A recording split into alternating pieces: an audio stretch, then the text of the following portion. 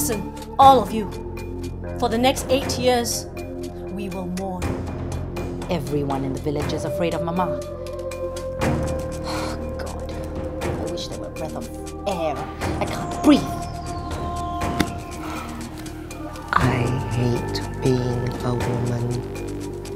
In this house, you will do exactly what I say.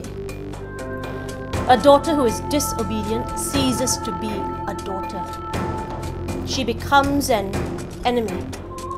Thank God I'll be released from this prison soon. Get out of my way, Mama. You dare paint your face on the day of your father's funeral? I will not be locked up in this house. It's my body and I'll do exactly what I want with it. I don't want to look at these old maids.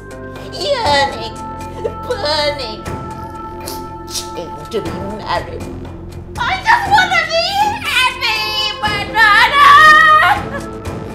I will make all decisions around here for all of us.